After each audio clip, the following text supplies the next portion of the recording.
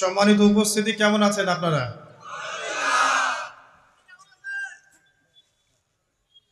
আলহামদুলিল্লাহ আলা কুল্লি হাল ওফি কুল্লি মাকান। যদিও বা বর্তমান প্রেক্ষাপটে একজন মুসলিম ভালো থাকতে পারে না। বর্তমান প্রেক্ষাপট এতই খারাপ, কেয়ামতের আলামতগুলো এমনভাবে প্রকাশ হয়েছে এখন যে একজন ইমানদার মুসলিমের পক্ষে নিশ্চিন্তে থাকা আর ভালো থাকাটা খুব কষ্টকর। তারপরেও নবী সাল আলী হাসাল্লাম আমাদেরকে দিক নির্দেশনা দিয়েছেন যে যখন ফেতনার যুগ আসবে, ফেতনার যুগ বলতে চতুর্দিক থেকে ফিতনার ফাসাদ। ফিতনা ফাসাদ কেমন? মানে আল্লাহ রবুর আলমিন কোরআনে একটা বিষয় বলছেন, সমাজ তার উল্টা চলছে। এগুলো ফিতনা। নবী সাল আলী হাসাল্লাম হাদিসে একটা বিষয় বলেছেন, সমাজ তার উল্টা চলছে। এর নাম ফিতনা। পরিবারে ফিতনা, ধর্মের মধ্যে ফিতনা, সমাজে ফিতনা, অর্থনীতিতে ফিতনা। এখন সংস্কৃতির মধ্যেও ফিতনা। তো এই ফিতনাময় পরিবেশে নবী সাল্লাম বলেছেন যে কেউ যদি ইমান এবং আমলের উপরে মানে নবী সাল আলী আসাল্লামের আদর্শের উপরে সবর করতে পারে, টিকে থাকতে পারে, তার জন্য পঞ্চাশ জন শহীদ সাহাবির নেকি হবে ইনশাল্লাহ তো ফেতনাময় পরিবেশে যদি সবর করা যায়, হকের উপর অটল থাকার চেষ্টা করা যায়, ইনশাআল্লাহ আপনি পঞ্চাশ জন শহীদ সাহাবির নেকি পাবেন ইনশাআল্লাহ। তো প্রত্যেকটা ক্ষেত্রেই আপনি ফিতনা পাবেন। পরিবারের দিকে তাকাবেন, দেখবেন পরিবারের বন্ধনগুলো আগের মতো নাই। প্রচুর ডিভোর্স হচ্ছে। স্বামী স্ত্রীর বিচ্ছেদ প্রচুর বেড়ে গেছে। তারপরে সন্তান সন্ততি আমাদের পরিবারে যারা আছে, দেখবেন এরা বেশিরভাগই দুনিয়াদার হয়ে গেছে। দিনের খুব একটা ফিকির নাই। বেশিরভাগ পরিবারের সদস্য দেখবেন নামাজ কালামের এখন ধার ধারছে না। ম্যাক্সিমাম পরিবার থেকে আস্তে আস্তে পর্দাটা কিন্তু শিথিল হয়ে যাচ্ছে। আপনি ব্যক্তি জীবনের দিকে তাকিয়ে দেখেন। গর্বের সাথে আমরা বলি না যে নব্বই ভাগ মুসলিমের বাংলাদেশ। দেখবেন মেজরিটি সংখ্যক মুসলিম পাঁচক্ত নামাজ জামাতে পড়ে না। বেশিরভাগ মুসলিম দেখবেন আল কোরআন বিশুদ্ধ করে তেলাওয়াতও করতে পারে না। তো এরপরেও আমরা দাবি করি যে আমরা প্রকৃত মুসলিম, জান্নাত আমাদের জন্য অপেক্ষা করছে। আসলে বাস্তবতা এমন নয়। যারা কোরআন আমরা টুকটাক পড়তে জানি, তাদের মধ্যে কত পার্সেন্ট কোরআনের অর্থ বোঝে? এই আল্লাহ পাকের কিতাব আমার হাতে আছে। এই কিতাবের অর্থ কতজন বোঝে এটা একটা চ্যালেঞ্জ যারা কোরআন পড়তে জানি আমরা, তাদের প্রতি চ্যালেঞ্জ দেখেন তাদের মধ্যে কত পার্সেন্ট মানুষ কোরআনের অর্থ বলতে পারবে? আর অর্থটা যে জানা জরুরি, এই বিষয়টাও আমরা এখন জনগণকে বোঝাতে ব্যর্থ হচ্ছি। কোরআনের অর্থটা যে বোঝাটা জরুরি, এটা বোঝাতেও ব্যর্থ হচ্ছে। কারণ আমরা সবাই প্রত্যেক হরফে দশ নেকি পেতে চাই। কোরআন তেলাওয়াত করলে প্রত্যেক হরফে দশ নেকি হবে, এই তো? তো এই কনসেপ্ট যখন আমার মাথায় ঢুকে গেছে, আমি ওখানে নিজেকে থামিয়ে দিয়েছি। অর্থ বুঝে গবেষণা করলে এবং কোরআন কেন্দ্রিক জীবন ব্যবস্থা গড়লে যে আরও বেশি নেকি হয়, এটা আমার মাথায় নাই। প্রত্যেক হরফে দশ তো আপনি পাবেন তেলাওয়াত করলে। কিন্তু অর্থ বুঝে, এর ভিতরে ঢুকলে, গবেষণা করলে, এর মূল স্বাদটা পাওয়া যায়, এটা আমরা বুঝতে পারছি না। দেখবেন বেশিরভাগ মানুষ কোরআনের অর্থটা জানে না। আবার আমরা যারা টুকটাক ভাঙাচুর অর্থ জানি, তারা আবার দেখবেন কোরআনের সমস্ত আদেশ মেনে চলতে পারছি না এবং কোরআনের সমস্ত নিষেধও বর্জন করতে পারছি না। সমস্যা কিন্তু এখানেও থেকে গেছে। আবার কোরআনের ব্যাখ্যায় আছে হাদিস। তো এই হাদিসকে কেন্দ্র করে কোনো বিভ্রান্তির সুযোগ ছিল না। কিন্তু এখানেও আমরা বিভিন্ন জাল এবং মানে বানোয়াট হাদিসের উপর আমলও শুরু করেছি। হাদিসের নামে এমন অনেক কিছুই চলছে সমাজে, যেগুলোর সাথে হাদিসের কোনো সম্পর্ক নাই। আমি বলতে চাচ্ছি যে হাদিসের নামে আবার সমাজে এমন অনেক আমল চালু আছে যেগুলোর সাথে আবার হাদিসের কোনো সম্পর্ক নাই। তো দেখুন, ধর্মের মধ্যেও সমস্যা থেকে গেছে। আবার আমরা সবাই মুসলিম। আমাদের সবার ইউনাইটেড থাকার কথা। মুসলিম একটা জাতি, তাদের আল্লাহ একজন, রাসুল একজন, কেবলা এক তাদের সবার মধ্যে একটা ইউনিটির কথা ছিল। কিন্তু আমরা ধর্মতাত্ত্বিকভাবে এবং পলিটিক্যালি আমরা বিভিন্ন দলে বিভক্ত। এবং আপোষের মধ্যে মিল মোহব্বত কম। বাইরে হয়তো আমরা বলি যে আমি একজন ধর্ম, ধর্মতাত্ত্বিক দলের সদস্য, সে আরেকটা ধর্মে, ধর্মতাত্ত্বিক সংগঠনের সদস্য, সে আরেকটা মানহাস ফলো করে, সে আরেক জামায়াতের, সে আরেক তরিকার ইত্যাদি। আমরা সবাই এক যদি আমরা বাইরেই কথাটা বলি, কিন্তু অন্তর থেকে কিন্তু আমাদের এই বিষয়টা আসছে না। আমরা ভিতর থেকেই ঐক্যবদ্ধ হতে পারতাম, তাহলে উম্মার আজকে এই অবস্থা হতো? হতো না। তো দেখুন, ধর্মকেন্দ্রিক অনেক প্রবলেম থেকে গেছে এখনও। আবার আল্লাহ রসুল সাল্লাহ আলী হাসাল্লাম হাদিসের মধ্যে এবং আল্লাহ পাক কোরআনের মধ্যে ধর্ম নিয়ে বাড়াবাড়ি করতে নিষেধ করেছে ধর্ম নিয়ে বাড়াবাড়ি করো না, তোমরা নিজেদের ধর্ম পালন করো। তা আমরা নিজের ধর্ম যতটা না পালন করি, অন্যের ধর্মের দিকে আঙ্গুলটা তার চেয়ে বেশি তুলি। আমরা আগে নিজের রিলিজনটাকে ঠিকমতো পালন করি, দেখবেন সমাজ ঠিকই পরিবর্তন হয়ে গেছে, ইনশাআল্লাহ। তো আমি একটা ধর্ম পালন করি বলে অন্য ধর্মের মানুষের প্রতি বিদ্বেষ পোষণ করতে হবে বা তাদের উপর ঘৃণা, ঘৃণার মনোভাব প্রকাশ করতে হবে, এটা আল্লাহ পাক শেখান নাই, তার রাসুল শেখান নাই। আল্লাহ এবং তার রাসুল কি শিখিয়েছেন? ইসলামের সত্য বিষয়টাকে আপনি সবার সামনে উপস্থাপন করবেন, যার ইচ্ছা হবে সে কবুল করবে, যার ইচ্ছা হবে সে অস্বীকার করবে। যার যার কবরে শেষে যাবে, যার যার হিসেব শেষে দিবে। চাপিয়ে দেওয়ার সিস্টেমটা ইসলামের মধ্যে নাই। এখন আসেন, পরিবারের আপনাকে ফেতনা কিছু বললাম। অর্থনীতির জীবনে যাবেন, ব্যবসা বাণিজ্যের মধ্যে যান, দেখেন, বেশিরভাগ কালোবাজারি করছে, সিন্ডিকেট করছে মজুদদার মাপে কম দিচ্ছে, জনগণকে ঠকাচ্ছে, করছে না? এগুলো পলিটিক্যাল ফেতনা সরি এগুলো ইকোনমিক্যাল ফেতনা। তারপরে আপনি আরও দেখবেন ইকোনমিক সেক্টরে রিবা ভর্তি। সুদ সুদ, রিবা মানে কি? সুদ, রিবা দিয়ে ভর্তি। ঘুষ ছাড়া কাজ হচ্ছে না। ঠিক আছে? অন্যের সম্পদ আত্মসাৎ না করলে আমাদের পেটের ভাত হজম হচ্ছে না। তো এই যে দুর্নীতি বলেন, ঘুষ বলেন, রিবা বা সুদ বলেন হ্যাঁ? তারপরে কালো বাজারি বলেন, কালো টাকা সাদা করার টেন্ডেন্সি বলেন, পাচার বলেন, সবগুলো অর্থনৈতিক ফেতনা। এগুলো হচ্ছে কি? অর্থনৈতিক ফেতনা। এবার দুজন ফেরেস্তা মাথার দিক থেকে আসবেন, আসতে চাইবেন সলাদ বলবে, এখান দিয়ে আসা যাবে না, এদিক দিয়ে আসা যাবে না। ডান দিক দিয়ে আসতে চাইবেন, এদিক দিয়ে আসা যাবে না। বাম দিক দিয়ে আসতে চাইবেন জাকাত বলবে, এদিক দিয়ে আসা যাবে না। পায়ের দিক দিয়ে আসতে চাইবেন, আমলগুলো বলবে, এদিক দিয়ে আসা যাবে না। তখন যাই হোক, তারা আসবেন। এটা তাদের, এটা কথা কি? এটা কথাটা হচ্ছে যে সলাতের গুরুত্ব।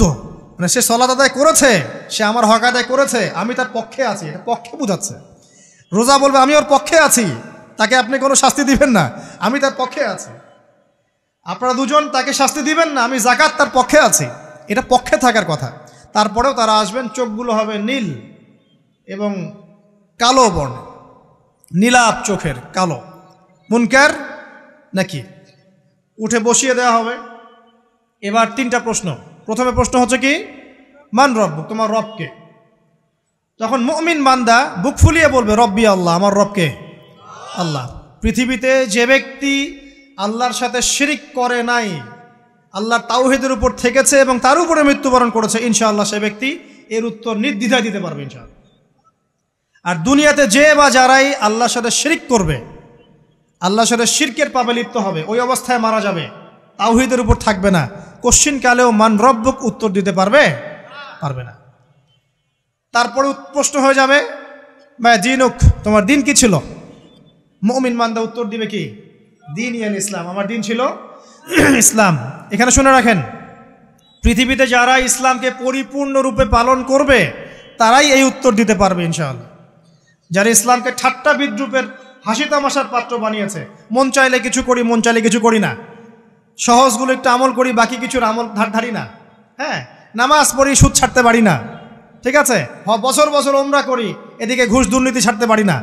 ইসলামকে ঠাট্টা তামাশার পাত্র বানিয়েছে। এরা কোশ্চিনকালে উত্তর দিতে পারবে না, মা দিন দিনে পরিপুৎখুলু ফিসিলমি কাফা, পরিপূর্ণরূপে ইসলামে প্রবেশ করতে বলেছেন আল্লাহ রবুল্লা আলমিন। যারা পরিপূর্ণরূপে ইসলামে প্রবেশ করবে এবং ইসলামের প্রতিটা মৌলিক বিধান মেনে চলবে, ইনশাআল্লাহ তারা এর উত্তর দিতে পারবে। এরপরে আসবে তৃতীয় প্রশ্ন। নবী সাল্লাল্লাহু আলী হাসলামকে দেখানো হবে। যখন দেখানো হবে, তখন সূর্য যখন ডুবে যায়, যে দৃশ্যটা আমরা দেখতে পারি না, ওই দৃশ্যটা ভেসে উঠবে। এবং মুমিন মান্দা অস্থির হয়ে যাবে, বলবে, আমাকে ছেড়ে দাও, আমি নামাজ পড়ব। সুফান আল্লাহ তা কারণ তার কাছে মনে হবে যে আসরের ওয়াক্ত হয়ে গেছে। আসরের ওয়াক্ত হয়ে গেছে, আসরের ওয়াক্ত চলে যাচ্ছে, আমাকে নামাজ পড়তে হবে। চিন্তা করেছেন? ওই যে একটা হাদিস আছে না যে সাত শ্রেণির মানুষকে আল্লাহ রবুল্লাহ আলমিন আরসের ছায়া ছায়া দিবেন, তার মধ্যে এক শ্রেণির মানুষকে যার অন্তর মসজিদের সাথে ঝুলে থাকে, তার মন মসজিদের সাথে ঝুলেছিল। এই সূর্য ডুবে গেল বলে, আমাকে ছেড়ে দাও, আমি নামাজ পড়তে যাব। তখন ফেরেশতারা বলবেন, তোমাকে নামাজ পড়তে দেয়া হবে, তবে তার আগে তুমি এর উত্তর দাও। কি উত্তর? এই ব্যক্তির দিকে তাকাও। তখন নবী সাল আলী আসলামকে দেখানো হবে। সাল্লাহ আলী ওয়াসাল্লাম। দরুদ পড়বেন। বলা হবে যে এই ব্যক্তির সম্পর্কে তোমার কি ধারণা? মান হ্যাঁ রজুল বু ইসাফিকুম এই ব্যক্তি কে যাকে তোমাদের কাছে পাঠানো হয়েছিল? মুমিন ব্যক্তি নির্দ্বিধায় বলে দিবে যে তিনি হচ্ছেন আমার নবী মুহাম্মদুর রসুল্লাহ সাল্লাহ আলী ওয়াসাল্লাম। দেখুন, পৃথিবীতে যে বা যারাই, পৃথিবীতে যে বা যারাই নবী সাল্লাহ আলী ওয়াসাল্লামের সুন্নতের উপর আমল করবে, ইনশাআল্লাহ সে তার উত্তর দিতে পারবে। দুনিয়াতে যারা নবীর সুন্নতের পাঁচ পয়সা পরোয়া করছে না, তার আদর্শের পাঁচ পয়সা দাম দিচ্ছে না, তারা কোশ্চিনকালে উত্তর দিতে পারবে না। নাম হতে পারে আব্দুর রহমান, আব্দুর রহিম, নবীর সুন্নতের ধার ধারে না, তারা উত্তর দিতে পারবে না। নবীর সুন্নতের গুরুত্ব কত কত গভীর, এটা আমাদেরকে এখান থেকে বুঝতে হবে। তাই প্রিয় যুবক ভাইরা মুসলিম ভাইরা আমাদের জীবনটাকে নবীর আদর্শ এবং সুন্নতে ঢেলে সাজাতে হবে। সকাল থেকে সন্ধ্যা পর্যন্ত প্রতিটা কাজ করব কার তরিকায়? রাসুলের তরিকা, নামাজ পড়ব তার তরিকায়। রোজা, সিয়াম, হজ জাগাত আমল, মোয়ামেলাত, আখলাক সব কার তরিকায়? নবী সাল আলী হাসাল্লামের তরিকা অনুযায়ী ইনশাল্লাহ আল্লাহ পাক তৌফিক এনায়ত করুন আমি এবার ফেরেস্তা দুজন জিজ্ঞাসা করবেন, অবাক হয়ে, যে তুমি কীভাবে এটা জানলে? তুমি কীভাবে এই তিনটা প্রশ্নের উত্তর দিতে পারলে? কারণ বেশিরভাগ মানুষ তো উত্তর দিতে পারবে না। বেশিরভাগ মানুষই এই উত্তর দিতে পারবে না। কারণ কেয়ামতের মাঠে হাজারে নয়শো নিরানব্বই জন মানুষ জাহান নামে যাবে। নাউজুবিল্লা তো এটা কঠিন পরীক্ষা। আল্লাহ রসুল সাল্লাম বলেছেন যে, নিশ্চয়ই তোমাদেরকে এখানে পরীক্ষায় ফেলা হবে। আর তোমরা যদি এই পরীক্ষা জেনে তোমাদের মৃতদেরকে দাফন করা থেকে বিরত না থাকতে, তাহলে আমি তোমাদেরকে শুনিয়ে দিতাম কবরে কেমন পরীক্ষা হয়। মানে যদি আমরা শুনতে পারতাম যে কবরে কেমন পরীক্ষা হয়, আমরা ভয়ে আমাদের মৃতদেরকে দাফন পর্যন্ত করতাম না। এটা নবীজি বলছেন সাল্লাহ আলী হাসান তাকে জিজ্ঞাসা করা হবে যে, তুমি কীভাবে জানলে এটা? বেশিরভাগ মানুষ তো পারে না উত্তর দিতে। তখন সেই ব্যক্তি বলে বলে বসবে। সেই ব্যক্তি বলবে যে করা তু কিতাব আল্লাহ, আমি আল্লাহর কিতাব এই কোরআন পড়েছি। মমিন বলবে, আমি আল্লাহর কোরআন পড়েছি। আমানতু বিহি, আমি এর উপর ইমান এনেছিলাম ও সদ্দাক্ত, এবং সত্যায়ন করেছিলাম। অতএব দুনিয়াতে যারা দিনের জ্ঞান অর্জন করছে না, কোরআন পড়ছে না, হাদিস পড়ছে না, পড়াশোনার চেষ্টা করছে না, জানার চেষ্টা করছে না, কবরে পার পাওয়া ডিফিকাল্ট আছে। এটা একটা অন্যতম প্রশ্ন। আমরা কিন্তু মনে করি তিনটা প্রশ্ন হচ্ছে, আসলে প্রশ্ন হচ্ছে কয়টা? চারটা। তিনটার পরে আরও একটা এক্সট্রা কীভাবে জানলে? তখন উত্তর দিচ্ছে, আমি আল্লাহর কিতাব পড়েছি ইমান এনেছি, সত্যায়ন করেছি সুফায়ন আল্লাহ নবী সাল্লাম হাদিসের পরের অংশ বলছেন যে, যখন কাফের বান্দাকে উঠানো হবে, তখন ডানেও কিছু নাই, বামেও কিছু নাই, সামনে পিছনে কিচ্ছু নাই। মাথার দিক থেকে ফেরেস তারা চলে আসবেন, উঠিয়ে বসানো হবে, প্রশ্ন করা হবে, কে তোমার রব? একটাই উত্তর লায়াদি আমি জানি না। নাউজুবিল্লা কি তোমার দিন? লায়াদি আমি জানি না। এই যে, আল্লাহর তো খবর নাই। আল্লাহ পাকের বিধান মেনে চলার কোনো খবরই নাই, পরোয়াই নাই। সে জানবে কীভাবে ইসলাম কি জিনিস? সে জানবে কীভাবে আল্লাহ কি জিনিস? ও তো আল্লাহকে চিনেই না। দিব্যি বলে বেড়াচ্ছে, মহাবিশ্ব সৃষ্টি হয়েছে বিগ ব্যাং থেকে আল্লাহ বলে কেউ নাই। মানুষ সৃষ্টি হয়েছে, বান্দর থেকে, নাউজুবিল্লাহ। মানুষ তো আল্লাহকে চিনছে না। এখনও মানুষ মনে করছে যে আল্লাহ বলতে কেউ নাই। এবং এই মুক্ত চিন্তার নামে, বাক স্বাধীনতার নামে, নাস্তিকতার যে চর্চাটা বেড়েছে বাংলায়, এটা আশঙ্কাজনক। বড় বড় বিশ্ববিদ্যালয় থেকে পড়ে আসছে। অনেক সময় দেখলাম বড় বিশ্ববিদ্যালয়ের প্রফেসর, সে বলছে যে মহাবিশ্ব বিগ ব্যাং দিয়ে সৃষ্টি হয়েছে। সৃষ্টিকর্তা নাই এখানে তো মুসলিম বিজ্ঞানীর একটা কথা বলতেন যে, মানুষ বিজ্ঞান সম্পর্কে অল্প জানলে নাস্তিক হয়ে যায়। আর অনেক গভীর জ্ঞান অর্জন করলে আল্লাহর কাছে আত্মসমর্পণ করে। খেয়াল করে দেখবেন, ডক্টর, ইঞ্জিনিয়ার যারা বড় বড় লেভেলে চলে গেছেন, অনেক সিনিয়র তারা কিন্তু বেশিরভাগ নামাজই দেখবেন। নামাজ পড়ে, দান সৎকার করে সমাজ কল্যাণমূলক কাজ করে, তারা কিন্তু রোগীর সেবা করতে গেলেও বলে যে নামাজ পড়িয়েন, রোজা রাখিয়েন, তারা কিন্তু বলে। অনেক ডক্টর আমি দেখেছি এমন, যারা যত বেশি গবেষণা করে, তারা তত বেশি আস্তিক হয়ে যায়। আর টুটাফাটা গবেষণা করলে নাস্তিক হয়ে যাবেন। কত প্রশ্ন, ইসলামের এটা কেন, ওইটা কেন, ইসলামে বহুবিবাহ কেন হ্যাঁ ইসলামে কি পর্দার বিধান কেন, তারপর ইসলামে এত রেস্ট্রিকশনস এত বাইন্ডিংস কেন হ্যাঁ স্বাধীনতা নাই কেন? কত প্রশ্ন ইসলামের এগেনস্টে কত তীর এখন ছোড়া হচ্ছে? তো এই ব্যক্তি কেমন করে উত্তর দিবে যে মাহাদিনুক তোমার দিন কি? আল্লাহকে, আল্লাহর দিকে কত প্রশ্ন ছোড়া হচ্ছে? কত শিরকের পাপ আমরা করছি? অনেক সময় মুসলিম হয়েও শিরকের পাপ করছি। কীভাবে উত্তর দিবে? মানরব্য তিন নাম্বার প্রশ্ন যখন করা হবে, এই ব্যক্তিকে দেখো দেখি। সে বলবে যে, আমি জানি না এই ব্যক্তিকে, তবে শুনেছিলাম মানুষের মুখে শুনেছিলাম, মানুষ যা বলতো আমি তাই বলতাম। মানে সে রসুল সাল্লাহ আলসালামের নাম শুনেছিল হয়তো বা, কিন্তু তার সুন্নত বা আদর্শ কখনো মেনে চলে নাই। পারল না। এবার জান্নাতি ব্যক্তি হলে কি হতো? ওই যে সূর্য ডুবছিল যেখানে, তার দৃষ্টির সীমা পর্যন্ত কবরকে প্রশস্ত করে দেয়া হতো। এবং জান্নাতের একটা দরজা তার কবরে খুলে দেয়া হতো। এটা কীভাবে করা হবে সেটা আল্লাহ পাক জানেন। এটার ব্যাখ্যা করার জ্ঞান আল্লাহ আমাদেরকে দেন নাই।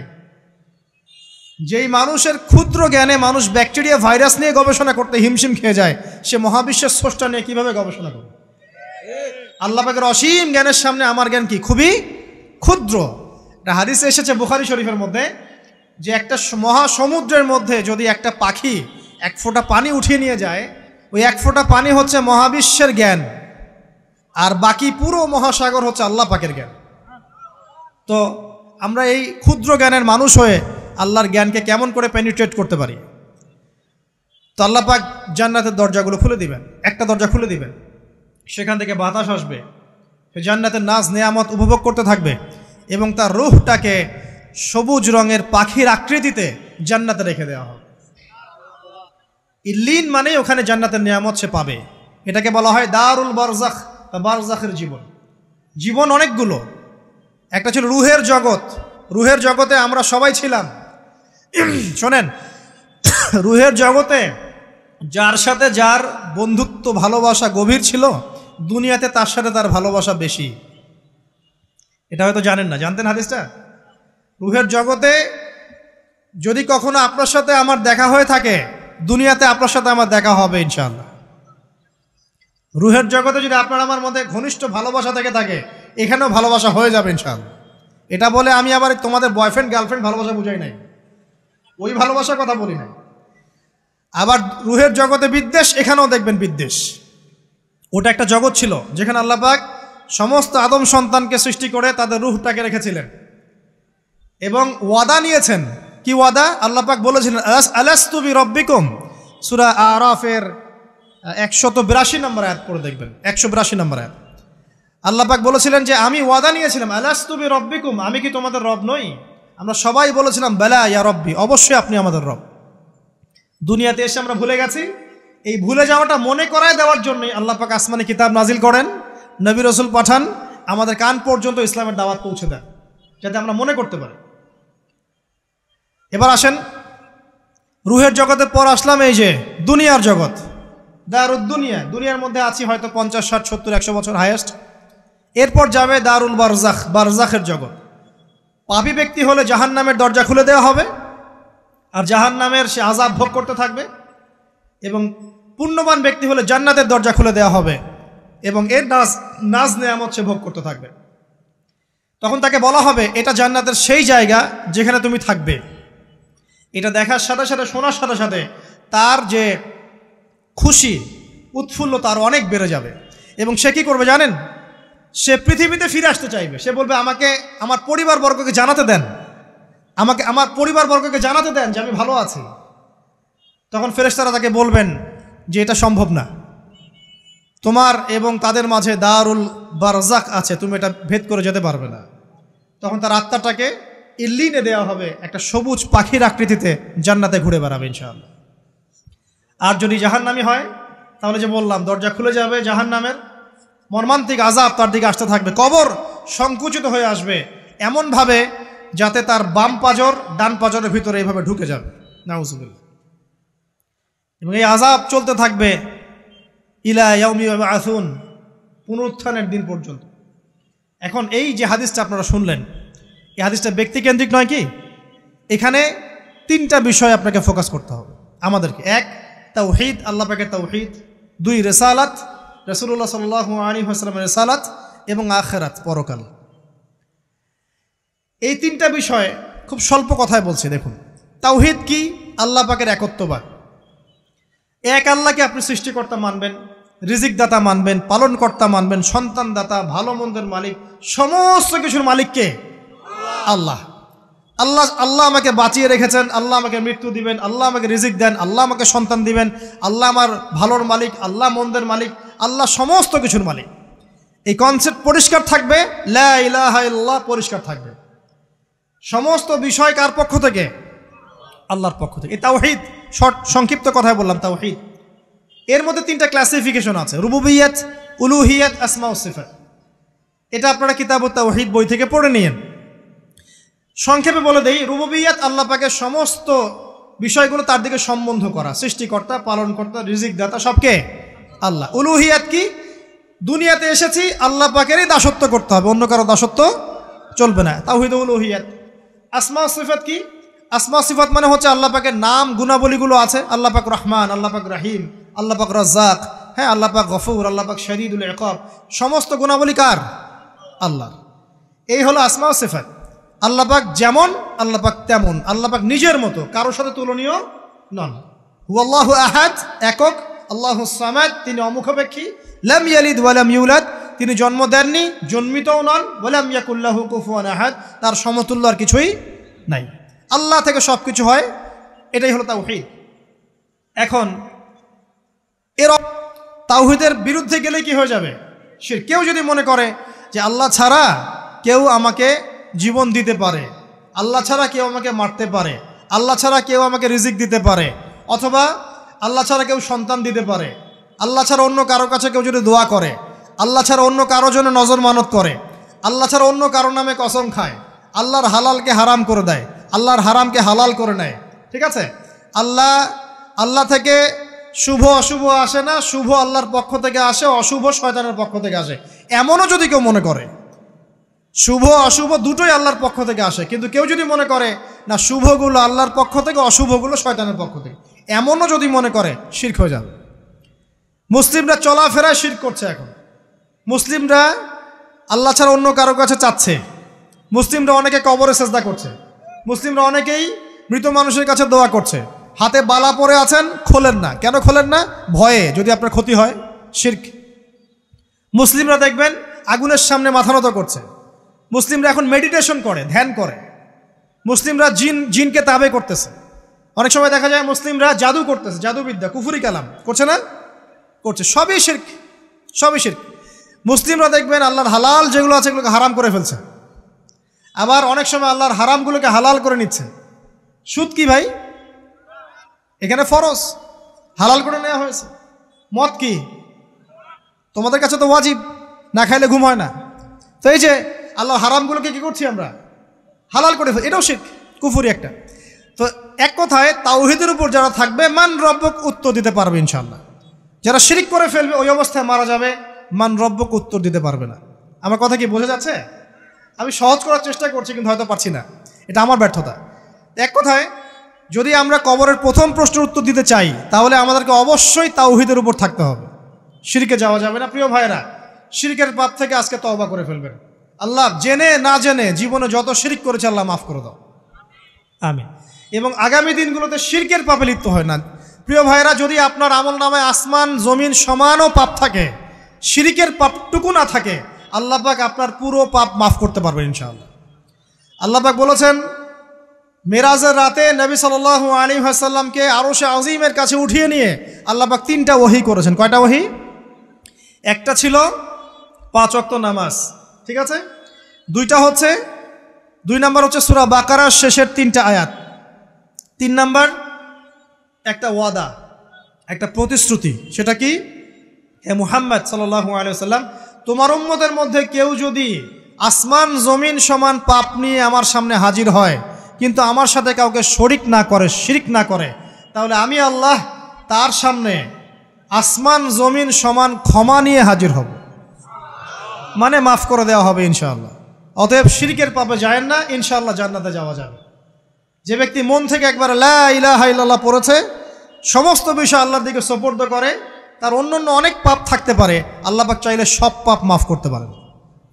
অতএব মান রব্যকে উত্তর দিতে চাইলে শিরিকের পাপে যাওয়া যাবে? যাবে না। আধুনিক শিরকের মধ্যে সবচেয়ে ভয়ঙ্করটা হচ্ছে এটা, যে আমরা আল্লাহর হালালকে হারাম করে নিচ্ছি, হারামকে আবার হালাল করে ফেলছি। এখানে যায় না। সব কিছু আল্লাহ থেকে আসে। দোয়া আল্লাহর জন্য করবেন, নামাজ আল্লাহর জন্যে। সব কিছু ইবাদত আল্লাহর জন্যে, দিনই এলেম অর্জন আল্লাহর জন্যে। প্রতিটা কাজের করার আগে নিয়াত ফিক্স করবেন। কেন করব। পরকালীন স্বার্থ থাকলে করব, না হলে করব না।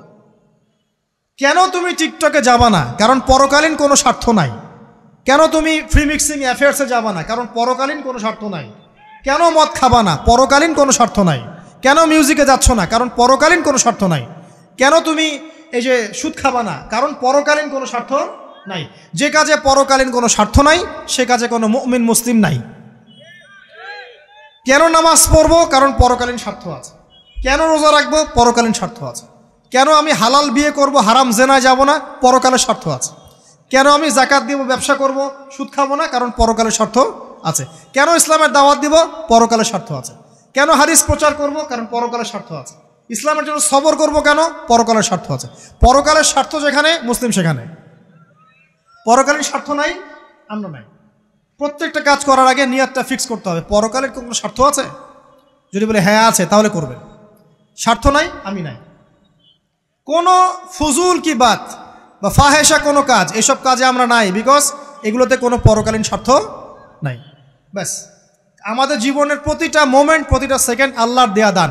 আমি নিজের ইচ্ছা মতো এটাকে অপব্যয় করতে পারি না। হ্যাঁ আপনি মিউজিক শুনতে চান, আপনি সং পছন্দ করেন? আপনি নাসিদ শোনেন, ইসলামিক নাসিদ শোনেন। ওখানে আপনার ইমান একটু দীপ্ত হবে, পরকালীন স্বার্থ আছে। আপনি নিজের যৌন চাহিদাকে দমন করতে পারছেন না, হালালভাবে বিয়ে করে নেন। বিয়ে করার পর আপনি যত ইচ্ছা স্ত্রীকে মহব্বত করেন, প্রত্যেকটা মহব্বতে নাকি পাবেন। এমনকি স্ত্রীর দিকে নেক নজরে তাকাবেন, তাতেও নাকি? তার মুখে খাবার তুলে দেবেন, তাতেও নাকি? তার হাত ধরে হাঁটবেন, তাতেও নাকি? তাকে নিয়ে রাত্রে চাঁদ দেখবেন, তাতেও নাকি? আপনি আপনার নিয়তটাকে চেঞ্জ করেন। কাজের ডাইরেকশন চেঞ্জ করেন। পরকালের স্বার্থ থাকলে করব, না হলে করব না। আপনি পছন্দ করেন ঘুরে বেড়াতে, আল্লাহর দিনের দায়ী হয়ে ঘুরে বেড়ান না। সমস্যা কি? আল্লাহর জমিন ঘুরে দেখেন এইসব অবান্তর কাজে লিপ্ত না থাকে আল্লাহ পাকে নিদর্শনগুলো ঘুরে দেখেন। আপনার ইমান বাড়বে ইনশাল্লাহ আপনার সংস্কৃতি ভালো লাগে, ইসলামিক সংস্কৃতি মেনে চলেন। আপনি কবিতা লিখতে ভালোবাসেন ইসলামিক কোনো কবিতা লেখেন? আপনি উপন্যাস পড়তে ভালোবাসেন? ইসলামিক কোনো উপন্যাস পড়েন? আমি বলছি না এগুলোর বাইরে কোনো পড়াশোনা করা যাবে না, এমনটা আমি কিন্তু বলছি না।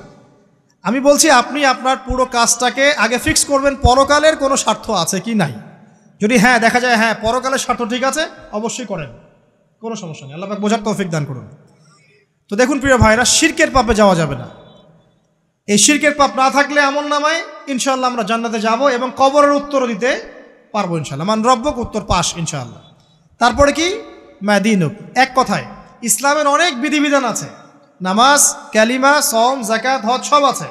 আমার বিল মারুফ নাহিনুল মুঙ্কার পিতামাতার খেদমত, প্রতিবেশীর অধিকার, স্ত্রীর অধিকার, তারপরে সন্তানদের অধিকার জাকাত সব কিছুই আছে।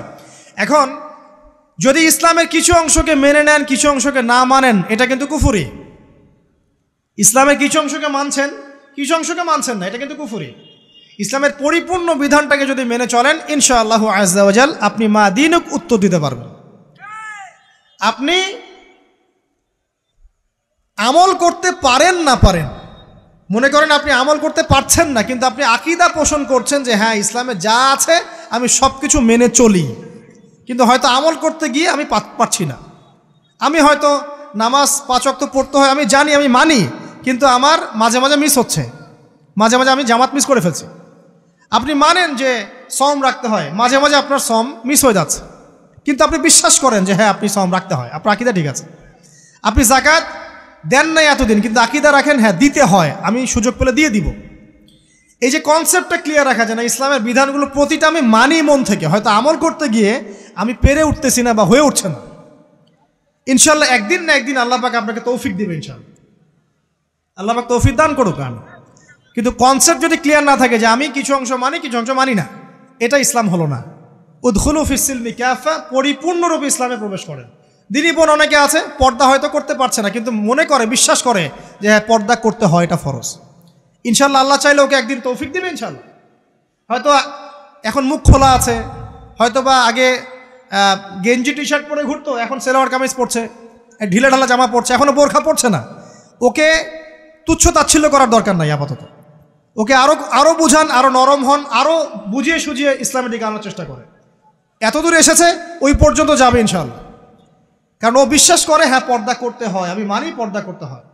কিন্তু আমি এখন করতে পারছি না ইনশাল্লাহ করব। আল্লাহ পাক চাইলে তৌফিক দিবে ইনশাল্লাহ তো এই যে বিষয়টা, যে ইসলামকে মনে আগে ধারণ করা, যে না, আমি মানি ইসলামের প্রত্যেকটা বিধান, ঠিক আছে। চুরি করলে চোরের হাত কাটতে হয়। ইসলাম বলেছে।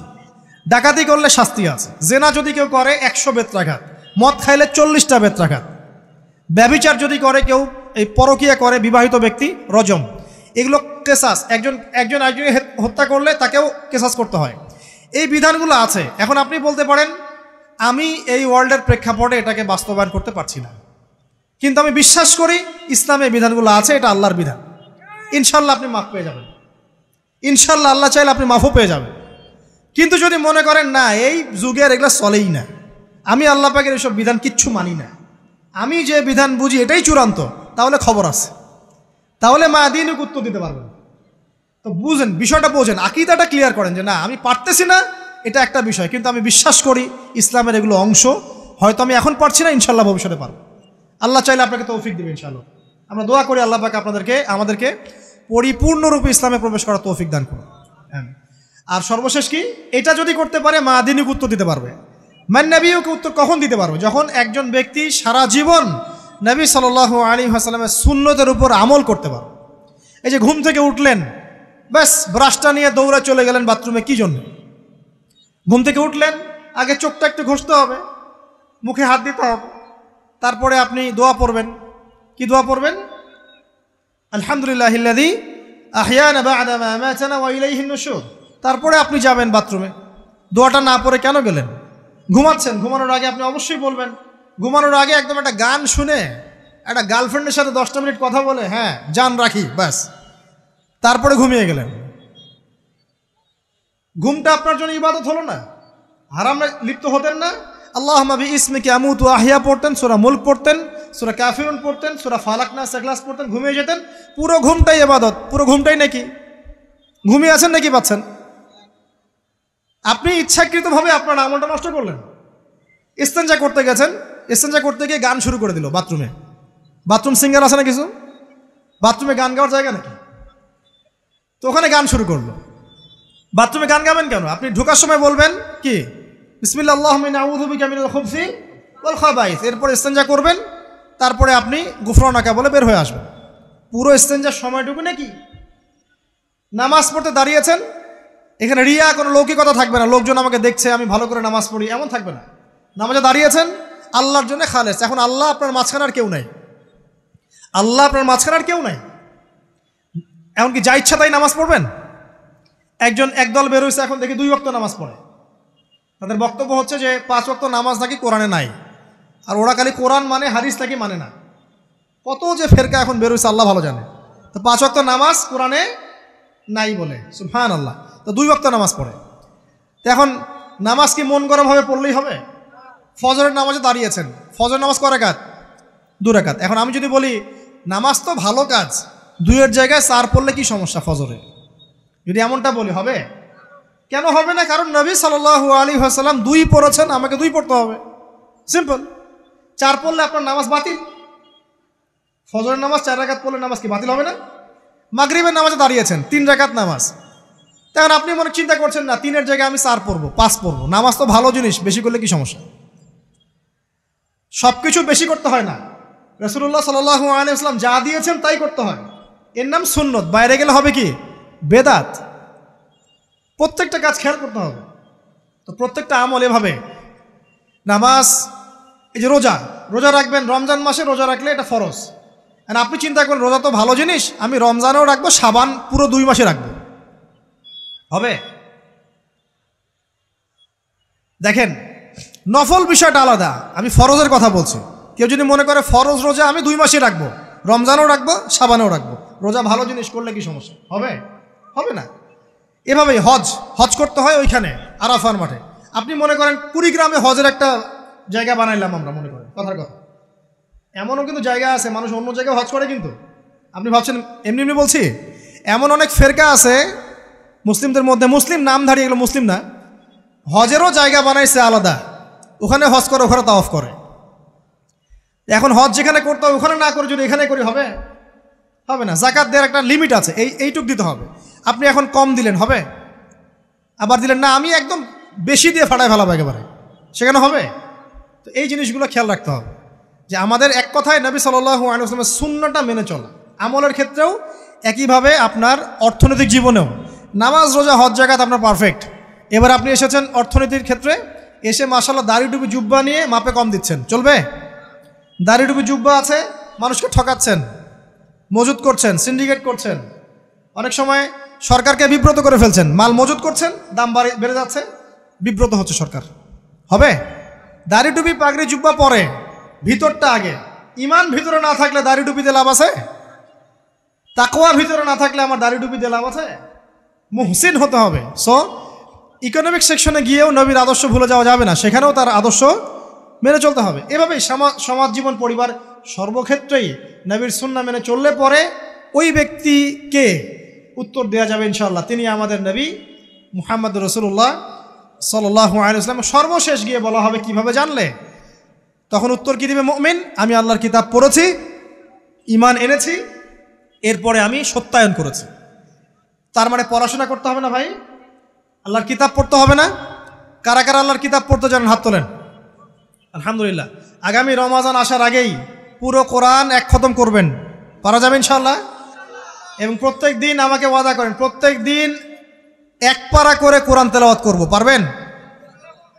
ইনশাল্লাহ না, বলেন পারব ইনশাল্লাহ পারব ইনশাল্লাহ আল্লাহ পাক তৌফিক দান করুন, আমিন।